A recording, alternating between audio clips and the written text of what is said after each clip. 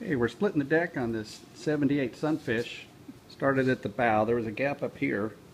I Was able to get the X-Acto knife in and the putty knife. Just slide it on down. Hammer and a putty knife. Taking the deck from the hull. We get to this area right here. There's a gap in the seam all the way from this rivet hole back almost to the splash guard and that's an area where water definitely get inside the boat but you can't see where it's going in because normally the trim's covering it. So we'll peel this up, we'll sand this down, put a piece of fiberglass in here with epoxy, saturate it, clamp it all back together after we get the uh, waterlogged foam out of the inside of the boat, which I don't know if we're able to get the deck up yet. There it is.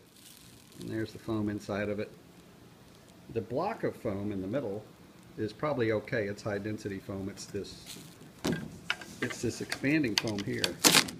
It's uh, saturated with water and just weighs weighs a ton. So we're going to remove that.